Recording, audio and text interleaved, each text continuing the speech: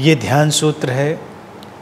Meditation is the realisation of the intrinsic innocence and wisdom that you are born with अर्थात ध्यान उस अंतर्निहित निर्दोषता, निष्कलुषता और प्रज्ञा का रियलाइजेशन है, बोध है, जिसके साथ तुम पैदा हुए हो।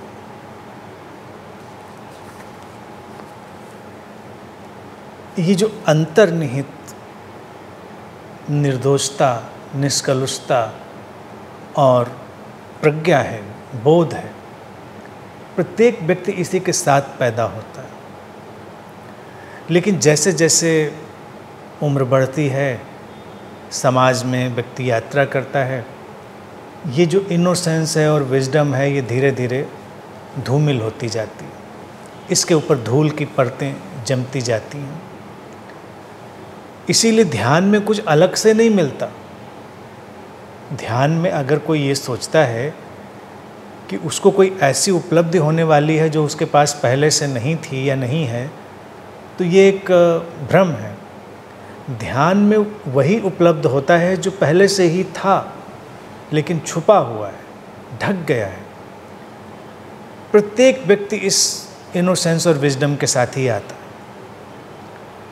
लेकिन धीरे धीरे करके वो हमारे विकास क्रम में खोती है क्योंकि समाज उसमें बहुत रुचि नहीं रखता। बच्चों को अगर हम देखें जो बहुत अभी न्यूली बॉर्न हैं, उनके अंदर हमको ये इनोसेंस तो दिखती है, लेकिन लोगों को विजडम नहीं दिखती शायद। उनको लगेगा कि क्या बच्चे भी उतने ही प्रज्ञावान हैं? लेकिन आज कल के जो मनोवैज्ञानिक शोध हैं, वो भी ये बताते हैं कि बच्चों के अंदर गहरे बोध की क्षमता है और वो बहुत कुछ सीख रहे होते हैं। एक कुछ महीनों का बच्चा भी अपने आसपास के वातावरण के प्रति अपनी ढंग से सजग होता है। हमारे ढंग से हो सकता है वो सजग हमको ना दिखाई दे। लेकिन वो अपने ढंग से सजग है और अपने ढंग से चीज़ों को ग्रहण कर रहा होता है, समझ रहा होता है। इसीलिए हम देखते हैं पीढ़ी दर पीढ़ी बच्चों का जो इंटेलेक्ट है, उनकी प्रतिभा है, वो बढ़ती जा रही लेकिन ये जो प्रतिभा है, अंतर्निहित प्रतिभा जिसकी इंट्रेंजिक विजडम की बात करी, वो है सीखने की क्षमता। विजडम का अर्थ ये नहीं कि तुम बहुत कुछ जानते हो। सीखने की क्षमता। और हर बच्चा भी जब पैदा होता है, तुम देखो कि वो लगातार सीख रहा है। नए नए ढंग से नई नई बातें। अब उसके आसपास का परिवेश ही अगर उसको सिखाने में रुचि ना लेने वाला हो तो उसके सीखने की प्रक्रिया मंद हो सकती है, स्लो हो सकती है, ये एक अलग बात है। लेकिन सीखने की जो उसकी इंट्रेंजिक कैपेबिलिटी है अंतर्निहित क्षमता है, वो होती है। और वही विजडम है। और उसके लिए स्पष्टतः निर्दोषता तो चाहिए इनोसेंस तो चाहिए।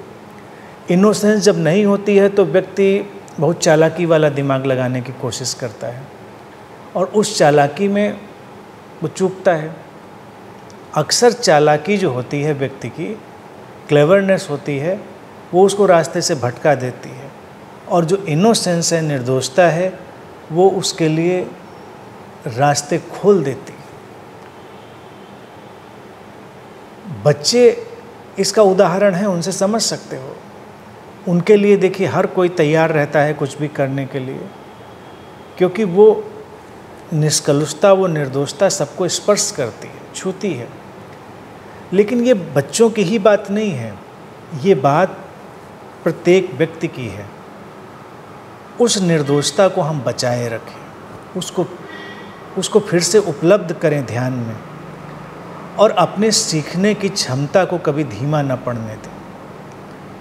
सीखने की क्षमता कम कब हो जाती है जब व्यक्ति निष्कर्षों पे पहुँच जाता है कंक्लूजन्स पे पहुँच जाता है, वो मान लेता है ऐसा ही है। और फिर जैसे ही वो ये कहता है कि ऐसा ही है, वो बंद हो जाता है।